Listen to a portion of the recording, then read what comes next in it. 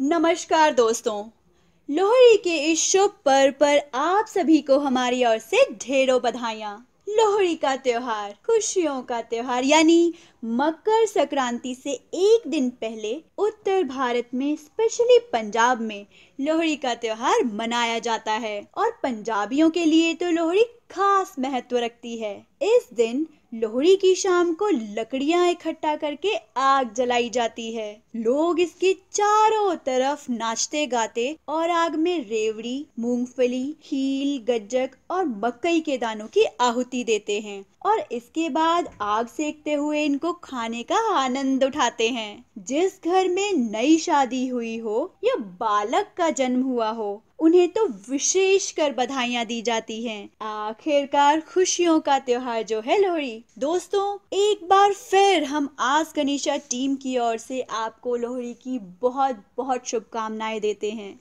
इसके साथ ही दो अनमोल वचन कहते हुए आपसे विदा लेते हैं दोस्तों कि खुशियाँ बांटो, खुशी से जी लो, कि हर पल खुशियों के जाम पी लो। क्योंकि दोस्तों, जीते जी के झगड़े हैं, ये तेरा है, ये मेरा है, चले गए इस दुनिया से तब तेरा है न मेरा है। धन्यवाद दोस्तों। ओम